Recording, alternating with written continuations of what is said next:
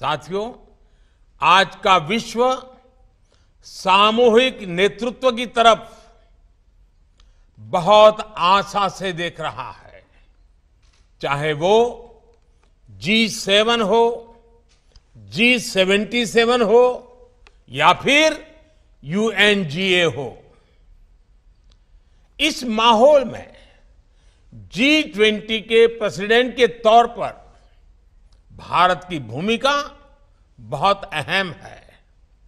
भारत एक और विकसित देशों में से घनिष्ठ रिश्ते रखता है और साथ ही विकासशील देशों के दृष्टिकोण को भी अच्छी तरह से समझता है, उनकी अभिव्यक्ति करता है।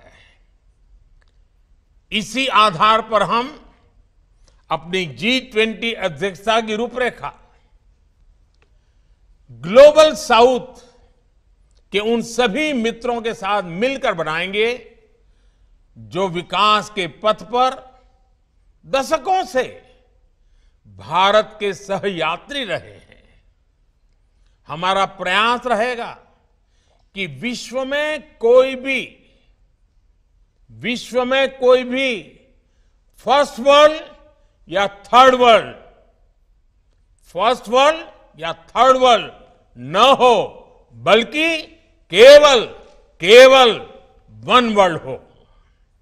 भारत पूरे विश्व को एक कॉमन ऑब्जेक्टिव के लिए, एक बेहतर भविष्य के लिए साथ लाने के विजन पर काम कर रहा है।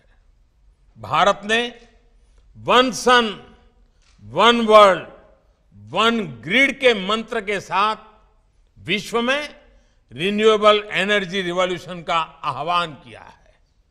भारत ने वन अर्थ, वन हेल्थ इस मंत्र के साथ ग्लोबल हेल्थ को मज़बूत करने का अभियान चलाया है। और अब जी ट्वेंटी में भी हमारा मंत्र है, one earth, one family. One future. Bharat के यही विचार, यही संस्कार विश्व कल्याण का मार्ग प्रशस्त करते हैं।